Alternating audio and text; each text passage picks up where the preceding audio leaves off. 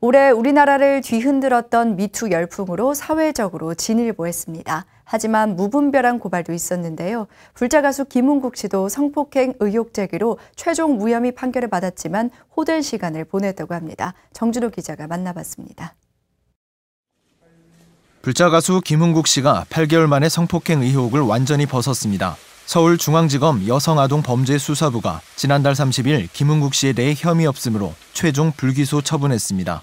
연예계 미투 운동이 한창이던 지난 3월 30대 여성 A씨는 김은국 씨가 억지로 술을 먹이고 성폭행을 했다며 경찰에 고소한 바 있습니다.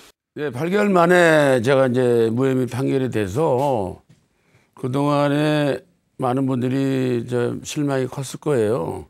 그 김은국을 좋아하고 사랑했던 분들 그나마 지금 이제 아, 의혹이 예, 이게 풀리고 정말 고통스럽고 힘든 생활을 보냈는데 하루 빨리 뭐 뭐 저 개인도 개인이지만은 어, 뭔가 좀 잘 마무리돼서 두 번 다시 이런 피해가 없었으면 좋겠습니다. 김은국 씨는 3월 고소당한 이후 5월에 경찰이 무혐의 의견으로 검찰에 송치할 때까지 고통스러운 시간이었다며 흥국사에서 매일 기도를 하며 이겨냈다는 심정을 밝혔습니다. 최종 혐의 없음이 결정났지만 김은국 씨는 잃은 것이 많습니다. 흥을 돋구는 예능 신이라는 별명에 흥고신이라 불리며 종횡무진하던 방송은 뚝 끊겨버렸고 최근 공개된 KBS 출연 자제 권고 연예인 명단에도 포함되는 등 생활고를 겪기도 했습니다.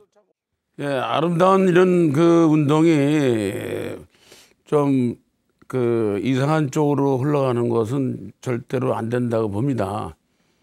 어, 정말 저뿐만 아니라 많은 분들이 또 피해를 입은 분들이 있는데 그분들도 하루빨리 의혹에서 벗어나서 마음 편하게 살았으면 좋겠고요. 말과 행동과 몸가짐이나 뭐 이런 것을 좀 잘 해야 되겠다 하는 것을 아주 깊이 깨달았던 그런 그 인생 공부를 했습니다. 김은국 씨는 스포츠에서도 선수가 다치면 재활을 위해 많은 노력을 하고 그 선수가 복귀하기 위해서는 받아주는 창구가 있어야 한다며 방송도 마찬가지라고 강조했습니다. 김은국 씨는 유튜브 채널뿐 아니라 신곡 내 나이가 되면 알 거다로 복귀를 준비하고 있습니다. 또 BTN 전국 사찰 노래자랑 MC로 다시 방송에 복귀하며 전국의 많은 불자들에게 응원을 받고 있습니다. 예, BTN 전국 사찰 노래자랑 그 첫 방송 나오고 반응이 상당히 좋은데요. 전국의 많은 사찰에서 연락은 오고 있다는 소식 들었습니다.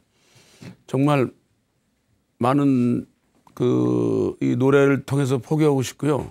세계적인 BTN 방송이 될 수 있도록 열심히 최선을 다해서 많은 분들한테 그 흥거신의 모습을 보여드리겠습니다. BTN 뉴스 정준호입니다.